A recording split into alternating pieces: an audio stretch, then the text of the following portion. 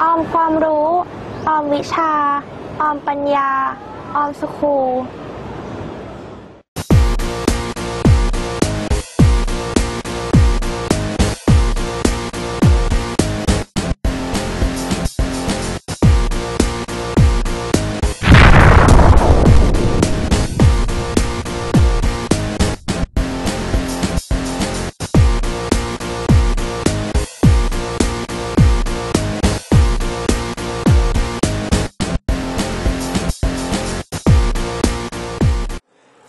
4. ตาม Fluid Mosaic Model เยื่อหุ้มเซลล์มีลักษณะเป็นของไหล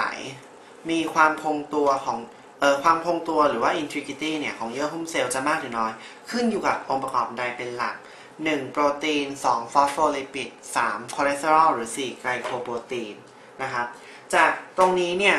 เอ่อต้องเข้าใจคำว่า Fluid Mosaic Model ก่อน Fluid Mosaic Model ก็คือเอ่อตรงนี้คำนี้ต้องการบอกว่า เยื่อหุ้มเซลล์เนี่ยมีลักษณะเป็นของไหลนะครับ ซึ่งคำว่าลักษณะเป็นของไหลตรงนี้หมายความว่ามีความยืดหยุ่นนะครับ ก็คือตัวเยื่อหุ้มเซลล์เนี่ยมันสามารถเปลี่ยนแปลงรูปร่างได้นะครับ เอ่อสังเกตจากตัว cell membrane ของอะมีบาเวลามันเกิด phagocytosis เนี่ย มันจะมีการยื่น pseudopo- pseudopodium หรือว่าเท้าเทียมของมันออกไป ซึ่ง เอ่อและความสามารถในการที่จะเปลี่ยนแปลงรูปร่างของ cell membrane ตรงนี้แหละ ก็คือความยืดหยุ่นของมันนะครับเอ่อนักวิทยาศาสตร์ที่เสนอ ลักษณะของ cell membrane เนี่ยก็ก็เลยเรียกว่าเป็น fluid mosaic model นะครับซึ่งเอ่อ cell membrane เนี่ยก็จะมีองค์ประกอบต่างๆ มากมายหลายชนิดนะครับถ้ามาดูจากภาพเนี่ยก็เห็นว่าเออองค์ประกอบหลักของ cell membrane ก็คือ phospholipid bilayer ก็คือเกิดก็คือเป็นตัว ฟอสโฟลิปิด2ชั้นที่มาประกอบกันนะครับ ตัวฟอสโฟลิปิดตัวหนึ่งเนี่ยก็อาจจะแทนได้ด้วยสัญลักษณ์แบบนี้นะครับ ซึ่งส่วนนี้คือเป็นส่วนหัว ส่วนนี้ก็จะเป็นส่วนหางนะครับ ซึ่งหัวเนี่ยก็ก็เป็นบริเวณที่มีหมู่ฟอสเฟตนะครับ ส่วนหางเนี่ยก็จะเป็นบริเวณที่เป็น fatty acid ซึ่ง fatty acid กับฟอสเฟตตรงนี้ก็จะจับอยู่กับตัวกลีเซอรอลตัวเดียวกันนะครับเพราะฉะนั้นตัวหัวเนี่ย ก็จะเป็นตัวบริเวณที่มีขั้ว ส่วนหางก็จะเป็นบริเวณที่ไม่มีขั้ว เพราะว่าตัว fatty acid เป็น nonpolar นะครับ หรือว่าเรียกว่า hydrophobic ก็คือเกลียดน้ำนะครับกับหัวก็คือ hydrophilic หรือชอบน้ำนะครับ มันก็จะพยายามเอาตัวที่เกลียดน้ำเนี่ยหันเข้าหากันแล้วก็เอาตัวที่ชอบน้ำเนี่ยติดกับบริเวณภายนอก เพราะว่าบริเวณภายนอกเนี่ย เออเป็นบริเวณล้วนแต่เป็นบริเวณที่มีสารละลาย หรือว่าเป็นน้ำมีน้ำเป็นองค์ประกอบทั้งสิ้น มันก็เลยพยายามเอาตัว hydrophobic เนี่ยประกบเข้าหากันนะครับ อันนี้คือตัวหลักของเออcell membrane นะครับ แล้วนอกจากตัวฟอสโฟลิปิด bilayer เนี่ยก็ยังมีโมเลกุลอื่น ๆ ที่เห็นได้ชัดตรงนี้ก็คือโปรตีนนะครับโปรตีน ซึ่งโปรตีนก็จะแบ่งเป็นสองแบบก็คือ integral โปรตีนกับ peripheral โปรตีนตัว integral โปรตีนก็จะเป็นโปรตีนที่แทรกอยู่ในฟอสโฟลิปิด bilayer เลยนะครับก็คือก้อนนี้ก้อนนี้ก้อนนี้นะครับซึ่งกรณีของ integral โปรตีนถ้ามันมีช่องนะครับถ้ามีช่องให้สารให้สารเนี่ยผ่านเข้าออกตัว cell membrane ได้เนี่ยเราก็จะได้ integral โปรตีนตัวนั้นว่าเป็น channel โปรตีน เออเขียนตรงนี้ก็แล้วกันหัวข้อนี้ เออก็แบ่งเป็นสองแบบก็คือ integral ถ้ามีช่องนะครับ ก็จะเรียกได้ว่าเป็น channel โปรตีนเอ่อ carrier โปรตีนหรือว่า transport โปรตีนก็ได้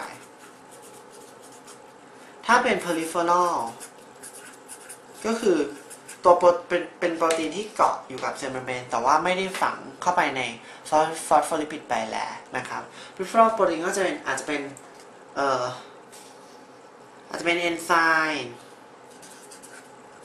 นะครับหรือว่าเป็นเอ่อตัวโปรตีนที่เกี่ยวกับ signal transduction หรือว่าเป็นโปรตีนที่เกี่ยวข้องกับ การส่งสัญญาณนะครับนะในวันนี้ของเอ่อหน้าที่ของโปรตีนตรงนี้เนี่ยหน้าที่โปรตีนก็อย่างแรกเลยก็คือในกรณีของชนะโปรตีนก็คือใช้ในการลำเลียงสารนะครับ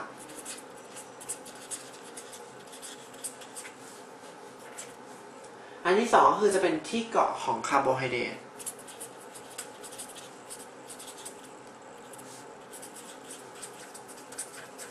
ซึ่งตัวโปรตีนที่มีคาร์โบไฮเดรตเกาะเนี่ยก็จะเป็นฝั่งนี้นะครับก็สังเกตว่าตัวโมเลกุลเล็กๆพวกนี้ก็จะเป็นพวก oligosaccharide นะครับซึ่งก็จะเป็นคาร์โบไฮเดรตที่มาเกาะอยู่บนโปรตีนนะครับซึ่งถ้าถ้าพูดรวมโมเลกุลระหว่างคาร์โบไฮเดรตกับโปรตีนพูดรวมๆกันเนี่ยเราจะเรียกว่า glycoprotein นะครับก็คือเป็นสารที่มีส่วนทั้ง โปรตีนกับคาร์โบไฮเดรตอยู่ด้วยกันนะครับ ซึ่งก็สังเกตว่าตัวคาร์โบไฮเดรตก็คือโมเลกุลพวกเนี้ย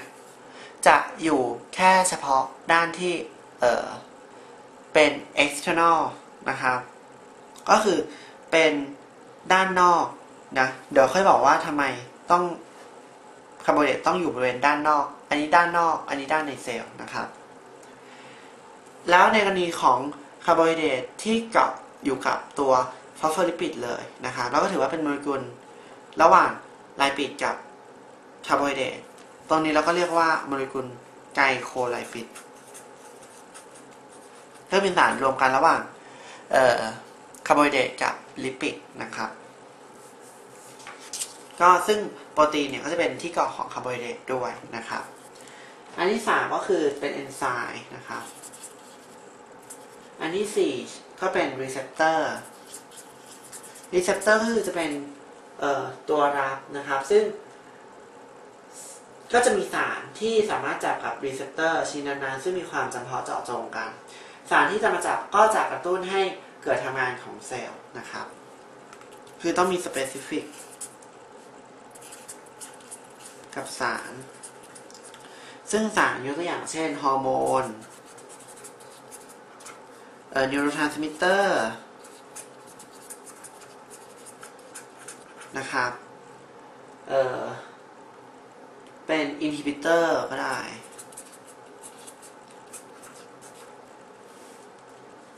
นะครับ แล้วก็จะเกิดฟังก์ชันหรือว่า response ต่อไป นั่นสุดท้ายก็คือตัวโปรตีนที่เกาะอยู่บน cell membrane เนี่ยอาจทำหน้าที่เป็นแอนติบอดีนะครับ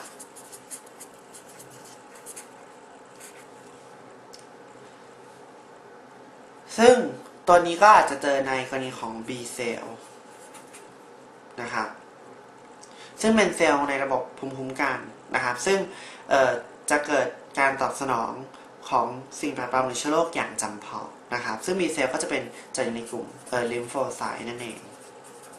นะครับ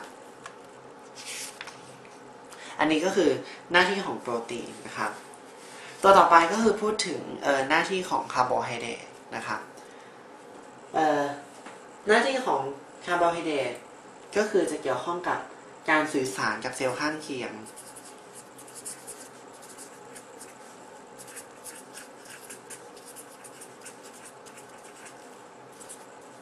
แล้วก็ใช้ในการจดจำเซลล์ข้างเคียง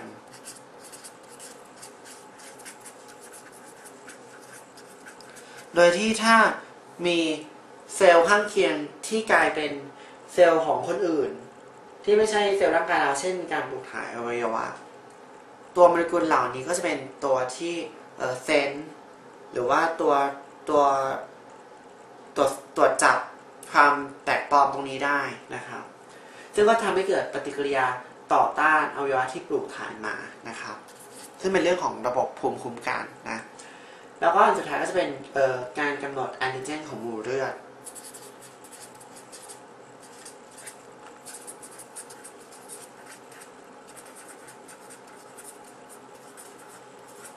ก็คือในกรณีของหมู่ ABO อะไรพวกนี้ก็จะเป็นโมเลกุลของไกล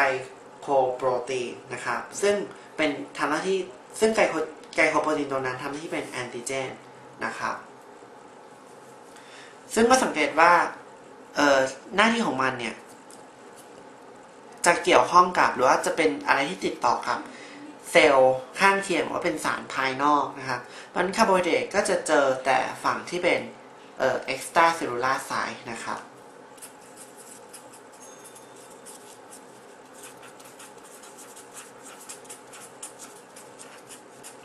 คือฝั่งที่ติดกับบริเวณที่เป็นภายนอกเซลล์นะครับ ตัวสุดท้ายก็คือคอเลสเตอรอลนะครับ ซึ่งเป็นสารที่พบเฉพาะในเซลล์คนแล้วก็สัตว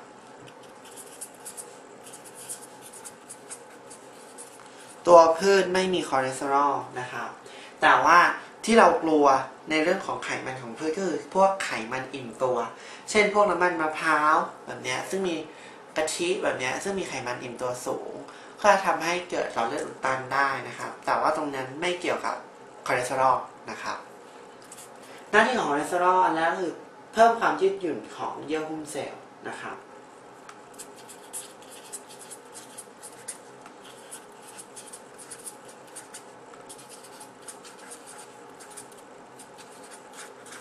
ก็คือเออเรารู้ว่าตัวเยื่อหุ้มเซลล์เนี่ยมันเป็น phospholipid bilayer ซึ่ง tail ของเยื่อหุ้มเซลล์หรือว่าหางมันเนี่ยเกิดจากเออเกิดจาก fatty acid ถ้าfatty acid มันแพ็กติดกันมากๆนะครับมันก็อาจจะเออเสียความเป็นเออลักษณะเป็นของไหลไปนะครับ ตัวคอเลสเตอรอลตัวนี้ก็จะไปแทรกอยู่ระหว่างฟอสโฟลิปิดทำให้ฟอสโฟลิปิดไม่ติดกันมากเกินไป จึงทำให้ฟอสโฟลิปิดเนี่ยมีคุณสมบัติที่เป็น fluid mosaic model นะครับนะถ้าเราดูจากภาพเนี่ยก็จะเห็นว่าตัวคอเลสเตอรอลนะครับ จริงๆแล้วมันต้องแทรกเอ่อตามฟอสโฟลิปิดตรงนี้นะครับ เป็นจุดๆตรงนี้นะเพื่อที่จะไม่ให้ตัว fatty acid เนี่ย ของ tail ของฟอสโฟลิปิดเนี่ย ติดกันเกินไป และทำให้มันแข็งยึดแข็งเกินไป เพราะฉะนั้นตัวฟอสเอ่อตัวคอเลสเตอรอลก็จะเกี่ยวข้องกับเอ่อ integrity ของเยื่อหุ้มเซลล์ด้วยนะครับ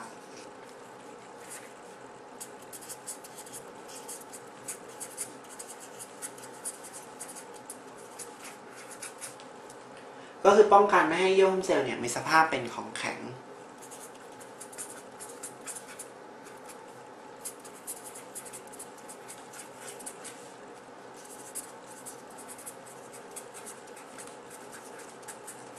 นะครับ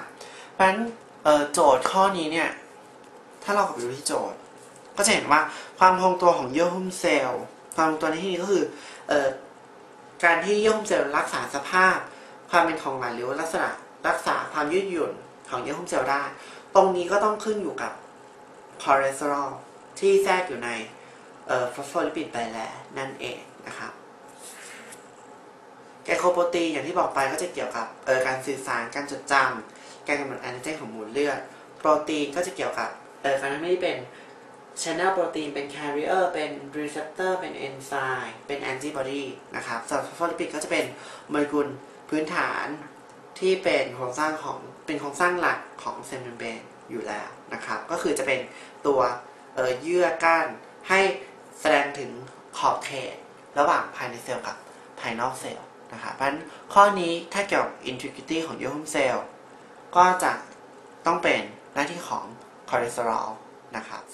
35 โครงสร้างคู่ใดทำหน้าที่แบบเดียวกัน 1. ไรโบโซม ไลโซโซม 2. แวคิวโอล ไกลโคเคลิกซ์ 3. ไซโตสเกเลตันโครโมโซม หรือ 4. gap junction พลาสโมเดสมาตาข้อนี้นะครับก็คือจะเป็น อออยู่ในบทของเรื่องเซลล์ และพวกนี้ก็จะเป็นออร์แกเนลหรือว่าโครงสร้างต่างๆ ที่พบในเซลล์นะครับ ซึ่งเราก็ต้องดูว่าเออโครงสร้างเหล่าเหล่านี้หน้าที่มันคืออะไร แล้วรูปร่างมันเป็นยังไงนะครับ เราก็มาดูกันทีละคู่เลยละกัน คู่แรกไรโบโซมไลโซโซมนะครับ ก็จะเป็นแบบนี้นะ ตัวนี้คือไลโบโซม สีม่วงๆเนี่ยคือไลโบโซม ไลโบโซมก็จะเป็นตัวที่ทำหน้าที่ในการสังเคราะห์โปรตีนนะครับ โดยที่เอ่อมันจะเป็นที่ที่ให้ตัว mRNA เกาะแล้วก็ให้ tRNA เนี่ยที่นำกรดอะมิโนแอซิดมาต่อกับสายโปรตีนเนี่ยเข้ามาเรื่อยๆ และไลโบโซมก็จะเคลื่อนที่ตามความยาวของ mRNA ไปเรื่อยๆ เวลาเกิดกระบวนการ translation หรือว่าการสร้างโปรตีนนะครับมันไรโบโซมเนี่ยก็จะเป็นตัวที่เกี่ยวกับการสร้างโปรตีน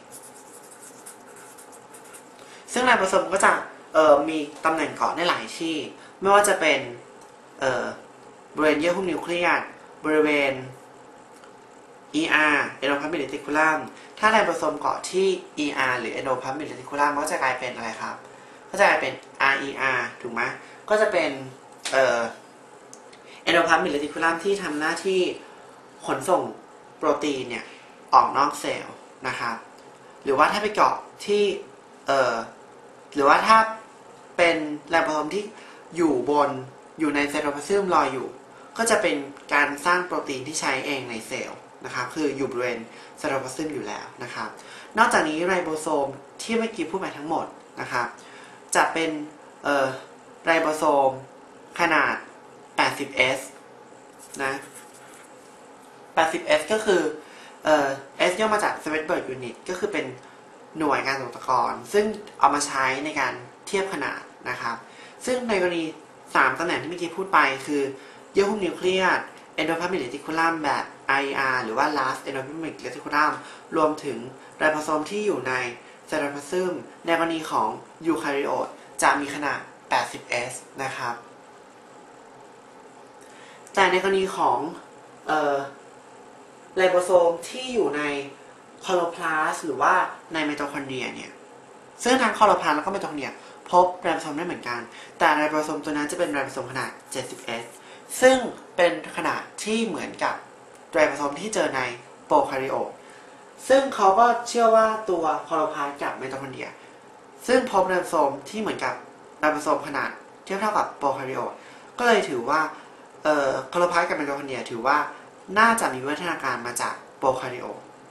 นะครับ ซึ่งเป็นโปรคาริโอตตัวหนึ่งไปเข้าไปอยู่ในโปรคาริโอตตัวหนึ่งแล้วอยู่ร่วมกันได้อย่างดี ก็เลยพัฒนาจากโปรคาริโอตให้กลายเป็นออร์แกเนลหนึ่งในยูคาริโอตนะครับ ซึ่งไรโบโซมก็จะถ้าอยู่ในเอ่อไมโตคอนเดรียหรือคลอโรพลาสก็จะเกี่ยวข้องกับการสร้างโปรตีนในไมโตคอนเดรียกับคลอโรพลาสไป ซึ่งก็จะเป็นโปรตีนที่เกี่ยวกับเอ่อ cellular respiration หรือว่าการหายใจระดับเซลล์ในกรณีของไมโตคอนเดรีย หรือว่าเป็นโปรตีนที่เกี่ยวข้องกับ เป็นเอนไซม์ที่ใช้ในกระบวนการ photosynthesis หรือว่าการสังเคราะห์ด้วยแสงในกรณีของคลอโรพลาสนะครับ อันนี้ก็คือหน้าที่ของไรโบโซมนะกรณีของอีกออร์แกเนลหนึ่งซึ่งชื่อคล้ายๆกัน บางคนอาจจะสับสน ระหว่างไรโบโซมกับออร์แกเนลอันที่สองคือไลโซโซม ไลโซโซมคือออร์แกเนลที่บรรจุน้ำย่อยนะครับมันไลโซโซมก็จะทำหน้าที่เกี่ยวกับการย่อย ย่อยอะไรย่อย สารที่ถูกนำเข้ามาสู่เซลล์ ซึ่งพวกนี้ก็จะมักจะเป็นพวก food vacuole นะครับซึ่ง food vacuole ที่เข้ามาก็จะผ่านกระบวนการ phagocytosis ตัวเซลล์เนี่ยก็จะมีการยื่น pseudopod หรือว่า pseudopodium เข้าไปโอบล้อม food หรือว่าสิ่งแปลกปลอมนะครับก็จะเป็น food vac เอ่อ food vacuole หรือ food vesicle หรือว่า phagosomeถ้าพูดถึงคำว่า phagosome ก็คือเป็นถุงที่ได้จาก phagocytosis นะครับก็จะเข้ามา ตัวไลโซโซมเนี่ยซึ่งมีน้ำย่อยน้ำย่อยคือเอนไซม์นะครับแสดงว่าตัวตัวตั้งต้นก็ต้องผลิตมาจาก endoplas rough endoplasmic reticulum จากที่ทาง rough endoplasmic reticulum ก็จะส่งมาให้ Golgi apparatus นะครับตัว Golgi apparatus ก็มีการเติมหมู่คาร์โบไฮเดรตหรือว่ามีการแพ็คโปรตีนหรือว่ามีการตรวจสอบโปรตีนนะครับหลังจากนั้นก็จะให้กลายเป็นไลโซโซม ซึ่งมีน้ำย่อยซึ่งสามารถทำทำงานได้เนี่ย ก็จะฟิลรวมกับ food vacuole นะครับก็จะมีการย่อยเกิดขึ้น ซึ่งไลโซโซมก็จะแบ่งเป็นสองแบบ คือ primary lysosome กับ secondary lysosome นะครับ primary lysosome คือเป็นไลโซโซมซึ่งยังไม่ได้ถูกนำไปใช้ในกระบวนการย่อยนะครับ ก็จะมีภายในไลโซโซมภายใน primary lysosome ก็จะมีแต่ตัวน้ำย่อยจริง ๆ ส่วน secondary lysosome ก็จะเป็นตัวไลโซโซมที่ฟิลกับตัว food vacuole เรียบร้อยแล้ว ตัวนี้ก็จะมี ส่วนของน้ำย่อยที่ใช้ไปแล้วแล้วก็ตัวเศษซากที่ย่อยได้นะครับ อันนี้คือเกี่ยวข้องกับการย่อยสารที่เอ่อนำ phagocytosis เข้ามาไม่ว่าจะเป็นการย่อยเชื้อโรค หรือว่าการย่อยสิ่งแปลกปลอมนะครับ อันนี้คือหน้าที่ไลโซโซมอย่างแรก นอกจากนี้ไลโซโซมก็ยังทำหน้าที่เกี่ยวกับการทำลายออร์แกเนลซึ่งเก่าหรือไม่ก็ออร์แกเนลที่ถูกทำลายนะครับ ซึ่งก็จะ เป็นการเอ่อ turn over ของตัวออร์แกเนลนะครับ ตัวอันไหนที่มันเอ่อเสียไปแล้วหรือว่าทำงานได้ไม่ดีแล้วเนี่ย ตัวไลโซโซมเนี่ยก็จะเป็นตัวที่จะกำจัดไปนะครับ ซึ่งการย่อยออร์แกเนลที่หมดอายุตรงนี้เราเรียกว่า autophagy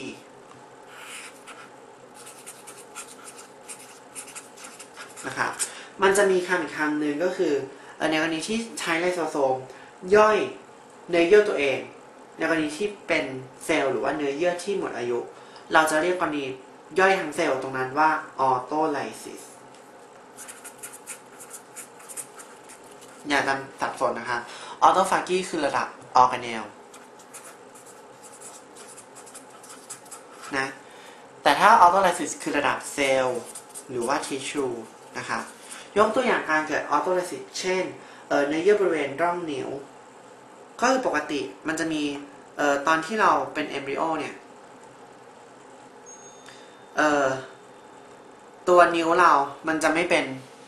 แต่ละนิ้วมันจะเป็นมีผังผืดเชื่อมกันหมดนะครับ ก็ตรงนี้ก็ต้องอาศัยออโตไลซิสเพื่อที่จะสลายผังผืดตรงนั้นออกมา ให้เกิดกลายเป็นนิ้วแต่ละนิ้วนะครับ หรือว่ากรณีของเอ่อ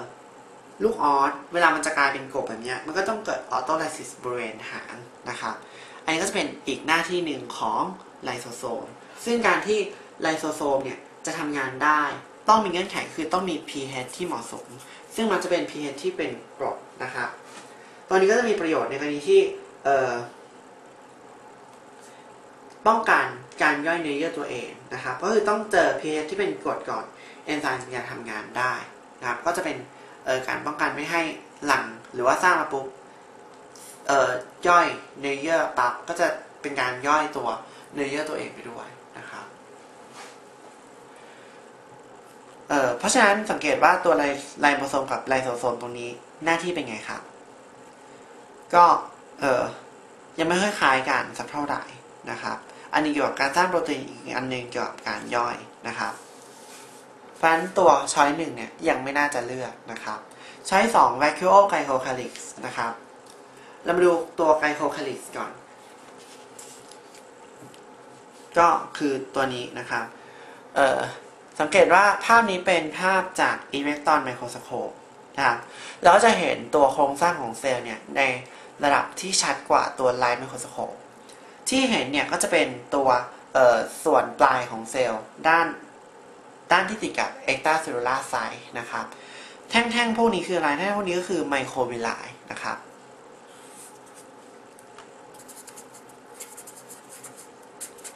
microvilli จะเป็นโครงสร้างระดับเซลล์ซึ่งเปลี่ยนแปลงมาจากตัว cell membrane ที่มีการยื่นเป็นโครงสร้างเล็กๆ ของเซลล์เนี่ยขึ้นไปนะครับ ตอนนี้ก็จะเพิ่มพื้นที่ผิวนะครับ บริเวณไมโครเวลาก็อาจจะมีตัว channel หรือว่า carrier โปรตีนเนี่ยในการรับสารเข้าเซลล์นะครับ หรือว่ามีตัวเอนไซม์ที่ใช้ในการย่อยสารอย่างเช่นตัว เอนไซม์ที่เจอในพวก intestinal epithelium ก็คือเป็น epithelium หรือว่าเป็นเยื่อบุบริเวณลำไส้นะครับ ซึ่งเกี่ยวกับการย่อยแล้วก็การดูดซึมสารมันการเพิ่มพื้นที่ผิวตรงนี้ก็จะมีประโยชน์ต่อการย่อยแล้วก็การดูดซึม ซึ่งพื้นที่ผิวที่เพิ่มมาก็จะเป็นในส่วนของ microvilli นะครับบริเวณที่เคลือบรอบนอกของเซลล์ตรงนี้ก็จะมีสารที่เป็นพวก glycoprotein หรือไม่ก็เป็นโพลีแซคคาไลด์สารตัวนี้เราเรียกว่า glycocalyx นะครับซึ่งเป็นสารประเภทเอ่อโปรตีนเอ่อผู้ผิดเป็นสารประเภทไกลโคโปรตีนหรือไม่ก็เอ่อโพลีแซคคาไลด์ซึ่งทำหน้าที่ในการเคลือบผิวเซลล์นะครับ ส่วนตัวของ vacuole vacuole ก็จะเป็นเอ่อเป็นถุงนะครับ ซึ่งเอ่อมีหลายแบบนะครับ วคคิวก็จะเป็นถุงที่มีเยื่อหุ้มหนึ่งชั้น แล้วก็มีรูปร่างไม่แน่นอนนะครับ แบ่งเป็น 3 แบบใหญ่ๆ อันแรกคือ Sap Vacuole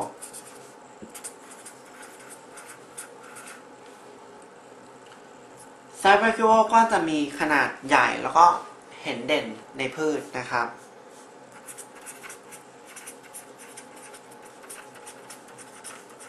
และถ้า รณีไซต์ v a c u o ที่อยู่กลางเซลล์เนี่ย เราจะเรียกว่า central vacuo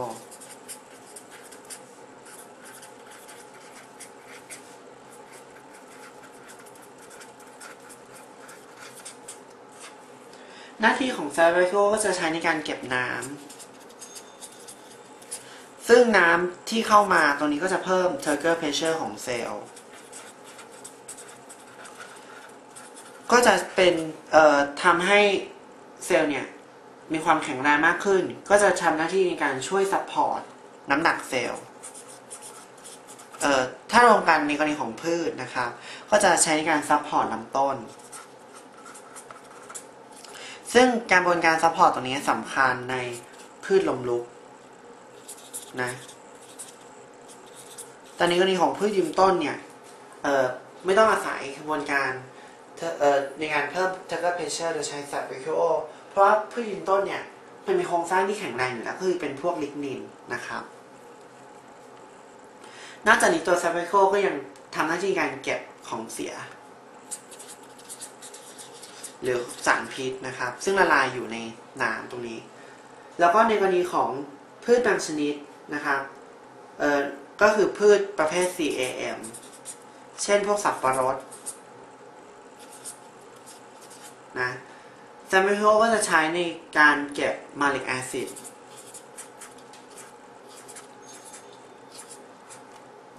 ซึ่งเกี่ยวข้องกับกระบวนการสังเคราะห์ด้วยแสงนะครับ หรือว่าพืชประเภทที่มีสีพวกสีแดงม่วงน้ำเงินผสมผสมกันตรงนี้อย่างเช่นพืชอ,อ,อัญชัน ชบา ต้อยติ่ง ผู้ระหงพืชพวกนี้ก็จะมี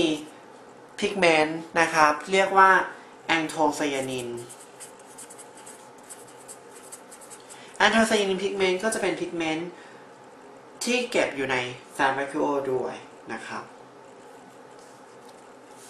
ถ้าเราในภาพตรงนี้สังเกตว่าตัวนี้เป็นเซลล์ของพืช ซึ่งเป็นลักษณะเอ่อเหลี่ยมๆนะครับ เซลล์พืชต้องเป็นเหลี่ยมๆ ถ้าเรามองดูตรงกลางปุ๊บใช่นิวเคลียสปะไม่ใช่แต่อะไรเด่นกว่า vacuole ตรง vacuole ตรงนี้คือ sap vacuole นั่นเองซึ่งถ้าเป็นรูปนี้นะ เราเรียกว่า central vacuole เพราะมันเป็น staph vacuole ที่อยู่กึ่งกลางเซลล์นะครับ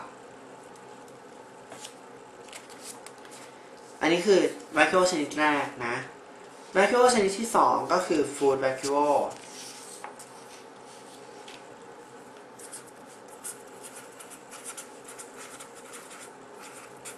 food vacuole food vacuole ก็จะเเรียกชื่อนี้ก็คือ phagosome ก็คือเป็นถุงที่ได้ที่มีสิ่งแปลกปลอม หรือว่าอาหารของเซลล์เนี่ยอยู่นะครับ ซึ่งได้มาจาก phagocytosis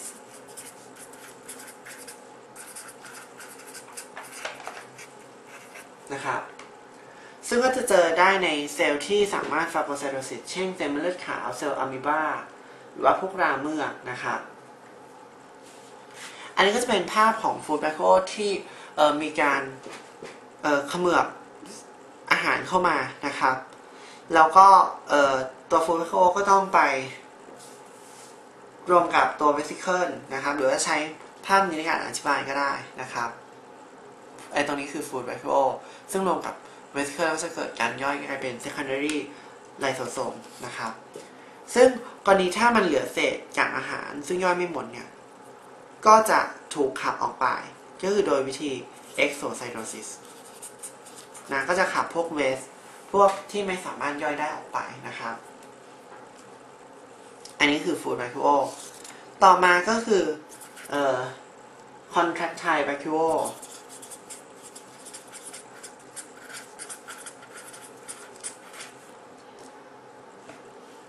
ซึ่งตัว contractile vacuole เป็นแบคทีเรียที่สามารถหดตัวได้ พบในโปรโตซัวน้ำจืด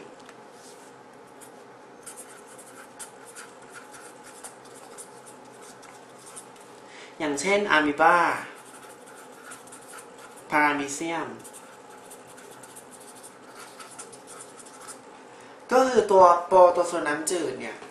ถ้าเปรียบเทียบความเข้มข้นของสารละลายภายในเซลล์มันกับสารละลาย ภายในสิ่งแวดล้อมที่มันอยู่คือน้ำจืด แน่นอนภายในเซลล์มันก็ต้องมีความเข้มข้นสูงกว่า เพราะฉะนั้น osmotic เอ่อ pressure ในในเซลล์มันเนี่ยก็จะสูงกว่าภายนอก osmotic pressure ที่สูงกว่าเกิดจากการที่น้ำ osmosis เข้ามาในเซลล์เรื่อยๆ ถ้าน้ำ osmosis เข้ามาในเซลล์เรื่อยๆ volume เซลล์ก็ต้องเพิ่มมากขึ้น อาจจะเพิ่มมากเกินกว่าความสามารถของ cell membrane ในการรองรับมัน อาจจะทำให้เซลล์แตกตายเพราะมันก็จะมีกลไกในการที่จะ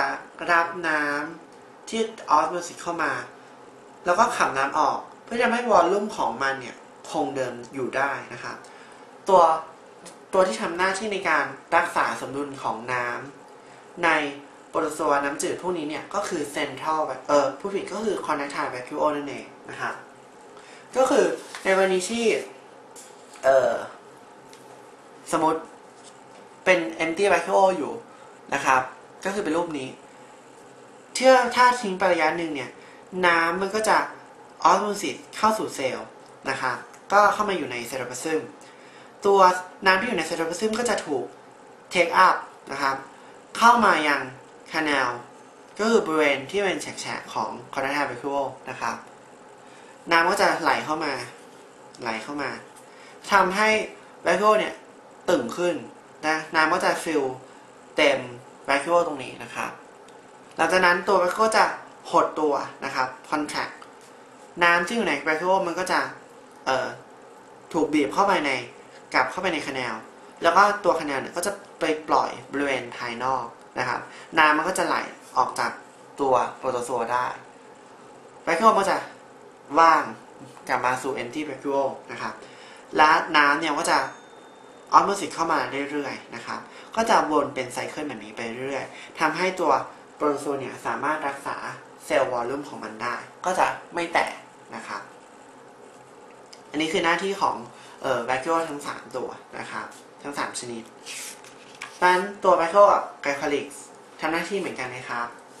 ก็ไม่เหมือนกันนะครับ มัน choice สองยังไม่ใช่ choice 3 cytoskeleton กับโครโมโซมนะครับ เรามาดู cytoskeleton กันก่อน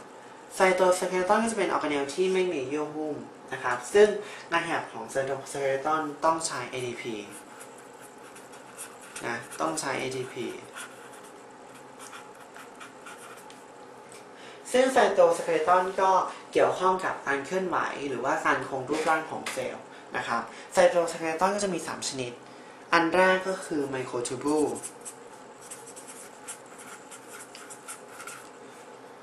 ซึ่งตัวโปรตีนของ microtubule ก็จะเป็น เอ่อพวก tubulin นะครับ โปรตีนที่ชื่อว่า tubulin ก็คือโปรตีนเป็นเล็กที่เป็น tubulin เนี่ยจะมาเรียง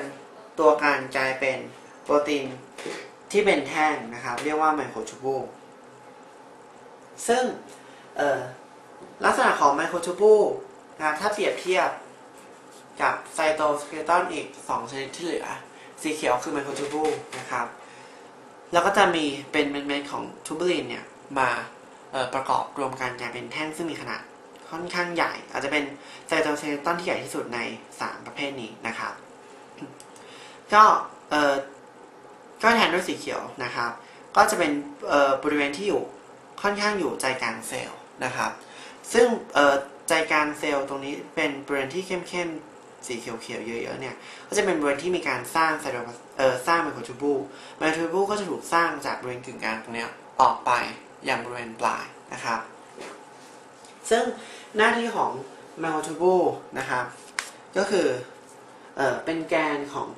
ออร์แกเนลประเภท flagellum cilia แล้วก็ centriole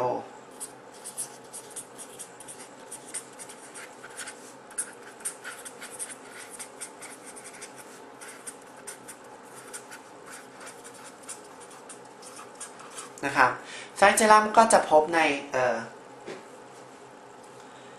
อย่างเช่นอสุจินะครับ ซึ่งก็จะใช้เป็นอวัยวะที่ใช้ในการบกพัดทำให้เซลล์เคลื่อนที่นะครับซิเลียก็เอ่อคล้ายๆแฟกเจลัมคือเกี่ยวข้องกับการเคลื่อนที่ของเซลล์ แต่ว่าเอ่อจะมีปริมาณเยอะกว่าต่อเซลล์ แล้วก็มีขนาดเล็กกว่าสั้นกว่านะครับยกตัวอย่างเช่นเอ่อที่เจอในพารามิเซียมนะครับส่วนเซนทริโอ ก็จะเป็นออกแกเนลที่เกี่ยวข้องกับการสร้าง magnetic spindle นะครับซึ่งเป็นส่วนของไมโครทูบูที่จะพูดต่อไป ซึ่งจะใช้ตอนที่มีการแบ่งเซลล์นะครับ ก็คือไมโครทูบูเนี่ยก็จะเป็นแกนของเอ่อ magnetic spindle หรือว่า spindle fiber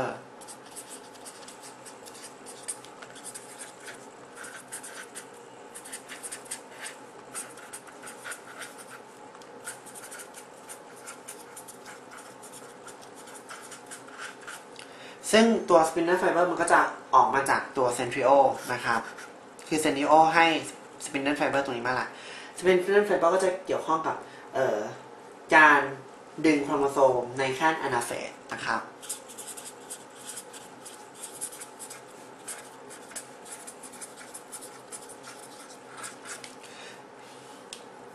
รวมถึงเอ่อ astral fiber ด้วย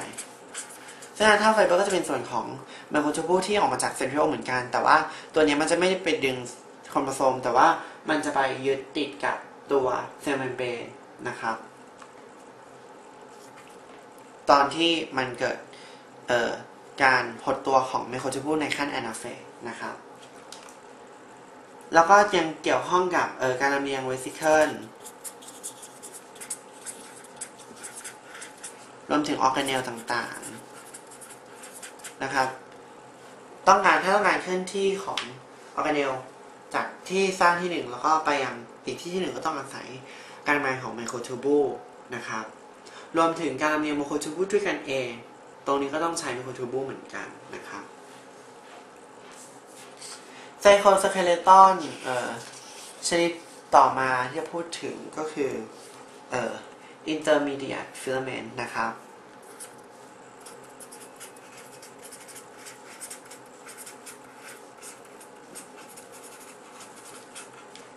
intermediate filament ตรงนี้ก็จะเป็นลักษณะของไฟบรัสโปรตีนนะครับ ไม่ได้ไม่ได้เป็นเม็ดๆเหมือนกับตัวไมโครทูบูนะครับ ซึ่งเป็นลักษณะของเส้นใยโปรตีนยาวๆ มาพันกันคล้ายเชือกนะครับตำแหน่งของ intermediate filament ก็จะอออยู่หนาแน่นบริเวณที่เป็นเซลล์จังชันนะครับ หรือบริเวณ ขอบนอกของเซลล์นะครับบริเวณรอยต่อระหว่างเซลล์หนึ่งกับอีกเซลล์หนึ่งนะครับนั้นฟังก์ชันของมันเนี่ย ก็จะเเกี่ยวข้องกับการยึดเซลล์สองเซลล์ที่อยู่ใกล้กันนะครับ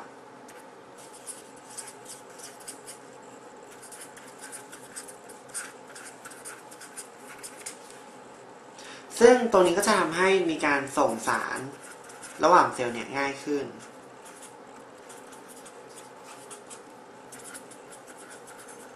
นะครับ แล้วก็ตัว intermediate filament ก็ยังเกี่ยวข้องกับการช่วยค้ำจุนเซลล์นะครับ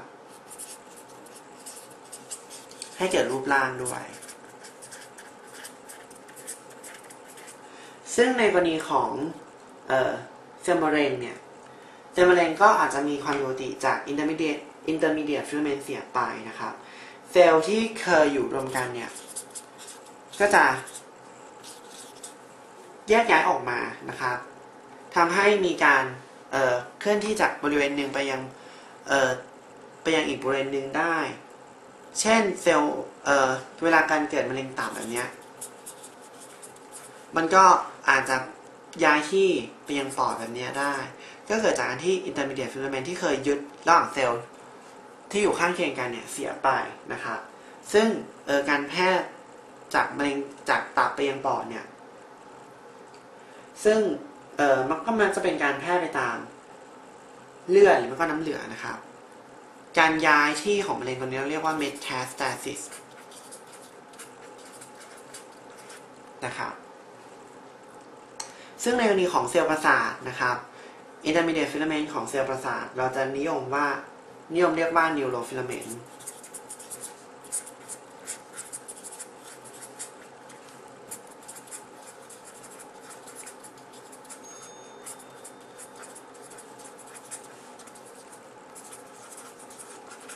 นะครับ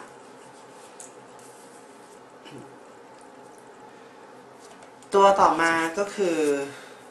เอ่อcytoskeleton อันสุดท้ายคือ microfilament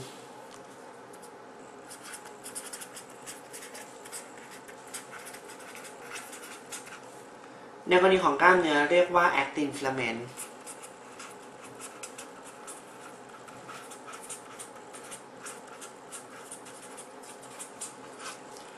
ตัว microfilament ก็จะเป็นเอ่อ cytoskeleton ขนาดเล็กนะครับ ซึ่ง ถ้าดูจากตำแหน่งเนี่ยเออมันก็จะอยู่บริเวณล้อมรอบเซลล์นะครับมันหน้าที่ของมันก็เกี่ยวข้องกับการค้ำจุนเซลล์ด้วยนะครับ ซึ่งหน่วยย่อยของ actin filament หรือว่าmicrofilament เนี่ยก็คือ actin ก็เป็นโปรตีนกลมๆ มาเรียงร้อยกันคล้ายๆ เป็นลูกปัดนะครับสองเกลียวก็บิดนะ ซึ่งจะอยู่บริเวณล้อมรอบเซลล์เมื่อกี้ลืมพูดในกรณีของ microtubule สังเกตว่ามันสมเหตุสมผลที่ลักษณะตำแหน่งของ microtubule เป็นแบบนี้ เพราะว่าจะเกี่ยวข้องกับการขนส่งสารใช่ไหมครับถ้าจะขนส่งสารออกไปจากบริเวณกลางเซลล์เนี่ยไปยังเ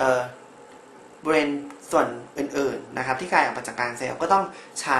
รางที่เป็นแบบนี้ขนส่งออกไปเพื่อที่จะขนส่งสารให้ได้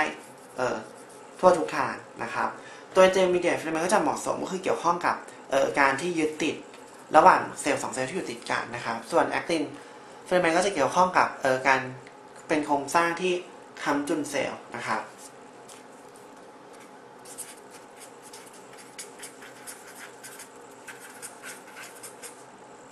นะแล้วก็ในเมื่อมันอยู่บริเวณรอบนอกของเซลล์เนี่ย มันก็จะสามารถควบคุมในการเปลี่ยน สภาพของเซลล์พลาซึมให้มีการเคลื่อนที่ได้ ซึ่งตรงนี้ก็จะเกี่ยวข้องกับการเคลื่อนที่แบบอะมิบอนมูฟเมนต์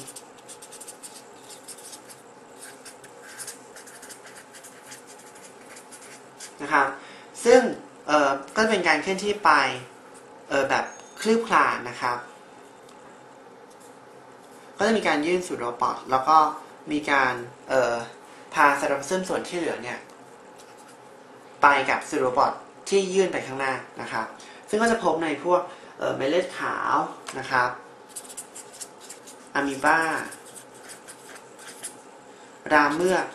ที่อยู่ในระยะเคลื่อนที่นะครับซึ่งพวกนี้ก็จะสามารถเกิด phagocytosis ได้นะครับเอ่อหน้าที่ต่อมาก็จะเกี่ยวข้องกับการคอดของเซลล์สัตว์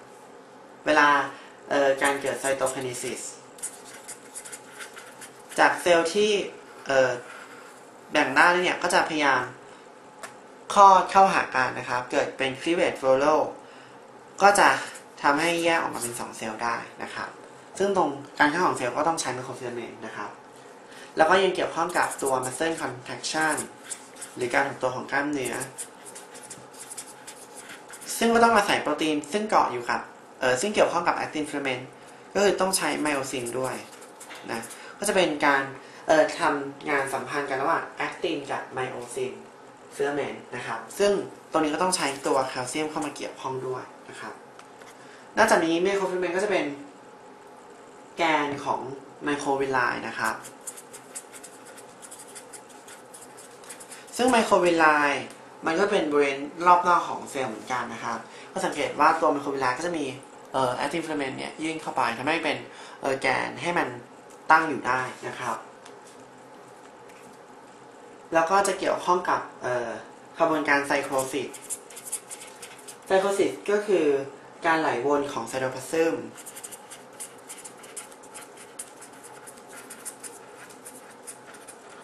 ทำให้สารต่างๆ ที่อยู่ในเซลล์เนี่ยสามารถกระจายได้ทั่วถึงนะครับ ซึ่งไซโคซิสก็ต้องอาศัย microfilament นะ แล้วก็อันสุดท้ายก็จะเกี่ยวข้องกับการขยับตัว tentacle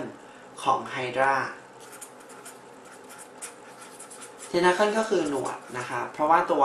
ไฮดราหรือว่าในกลุ่ม Cnidaria เนี่ย มันยังไม่มีกล้ามเนื้อนะครับก็ต้องใช้ตัว microfilament ตัวนี้ในการขยับหนวดมันนะครับ ก็จะจบในส่วนของเอ่อ cytoskeleton นะครับ ส่วนโครโมโซมโครโมโซมคืออะไรโครโมโซมก็จะเป็นโครงสร้างที่ประกอบไปด้วย DNA ซึ่งสัมพันธ์กับโปรตีนนะครับ โปรตีนก็จะแบ่งเป็น2ประเภทคือ histone กับ non-histone โปรตีน histone ก็จะเป็นโปรตีนที่เกี่ยวข้องกับการแพ็คตัว DNA เนี่ยให้ให้แน่นนะครับแล้วก็จากบริเวณเอ่อจากการที่มันเป็นสายยาวๆเนี่ยเพื่อที่จะเอ่อพักให้แพ็คให้มันแน่น เพื่อที่จะใช้ เพื่อที่จะสะดวกในการขั้นตอนการแบ่งเซลล์นะครับถ้าเป็นสายยาวแบบนี้แล้วก็แบ่งเนี่ยคงพันกันวุ่นวายน่าดูก็ต้องแพ็คให้มันเป็นแท่งก่อนนะครับตัวนี้ก็เป็นหน้าที่ของ histone ส่วนโปรตีน non-histone ก็จะเป็นโปรตีนที่เป็นเอนไซม์ที่เกี่ยวข้องกับกระบวนการต่างๆ ที่เกิดกับ DNA อาจจะเป็นเอ่อ DNA replication นะครับก็จะมีเอนไซม์หลากหลาย เช่น DNA polymerase นะครับเป็นต้น หรือว่าเกี่ยวกับกระบวนการเอ่อ transcription เพื่เพื่อที่จะสร้าง RNA นะครับ ตัวนี้ก็จะประกอบกลายเป็นตัวโครโมโซม ซึ่งโครโมโซมของเอ่อยูคาริโอตกับโปรคาริโอตก็ต่างกัน ถ้าเป็นprokaryote ก็จะเป็น circular นะครับ เป็นลักษณะของ circular DNA แต่ถ้าเป็นโครโมโซมของยูคาริโอตก็จะเป็น linear เพราะ circular ก็จะเป็นเอ่อกลมนะครับ ก็คือ เออไม่ใช่กลมสิ คือไม่มีจุดต้นแล้วก็ไม่มีจุดปลายนะครับ คือเป็นวง ส่วน linear ที่เจอในยูคาริโอตก็จะไปมีปลายสองฝั่งนั่นเองนะครับ ซึ่งโครโมโซมก็จะเป็นองค์ประกอบที่เกี่ยวกับสารพันธุกรรมนะครับ ซึ่งก็ทำหน้าที่ในการควบคุมหน้าที่ต่างๆของเซลล์ เพื่อให้เกิดสิ่งมีชีวิตชนิดนั้นๆนะครับ ก็ไม่เกี่ยวข้องกับเซลล์ซึ่งหน้าที่มันก็ต่างกับ cytoskeleton อย่างที่พูดไปมันข้อนี้ตอบ choice สี่คือ gap junction กับ plasmodesma นะครับตัว gap junction ก็จะเป็นพูดคร่าวๆก่อนกันทาง gap junction แล้วก็ทาง plasmodesma เนี่ย จะเป็นบริเวณที่ใช้ในการสื่อสารระหว่างเซลล์สองเซลล์นะครับ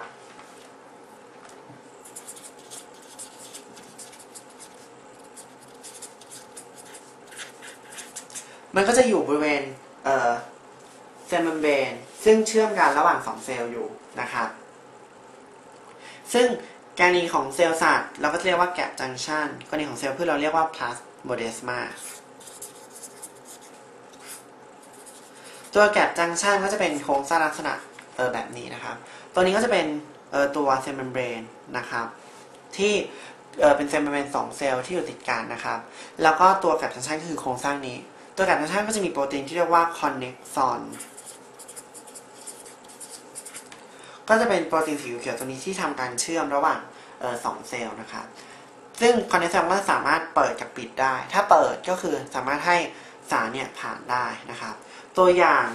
เออ gap junction ที่เจอในเซลล์สัตว์ยกตัวอย่างเช่นเจอในบริเวณ intercalated cell ผู้ผิดเจอที่ intercalated disc ก็คือเป็นรอยต่อระหว่างเซลล์ที่เจอในเอ่อเยื่อเจอในกล้ามเนื้อหัวใจนะครับ ซึ่งตัว intercalated disc มันก็จะมีแกลบจังชันอยู่ แกลบจังชันก็ทำหน้าที่ให้ไอออน เคลื่อนที่ผ่านจากคาเดียกมัสเซิลเซลล์หนึ่งไปยังอีกเซลล์หนึ่งซึ่งซึ่งไอออนที่เคลื่อนที่ตรงนี้ก็จะเป็นตัวนำ กระแสประสาทให้เคลื่อนที่ไปนะครับทำให้ตัว cardiac muscle สามารถ contract ได้อย่างพร้อมๆกัน ถึงแม้ว่ามันจะเคลื่อนที่ระหว่างเออจากเซลล์หนึ่งไปยังเซลล์หนึ่งเนี่ย แต่มันมี gap junction และเป็นการเคลื่อนที่ของไอไอออนทางไฟฟ้าทำให้มันเคลื่อนที่อย่างรวดเร็ว จึงจึงทำให้ตัว cardiac muscle เนี่ยเปรียบเสมือนสามารถบีบตัวพร้อมกันได้นะครับ ก็คือเป็นการทำงานอย่าง syncytium นะครับ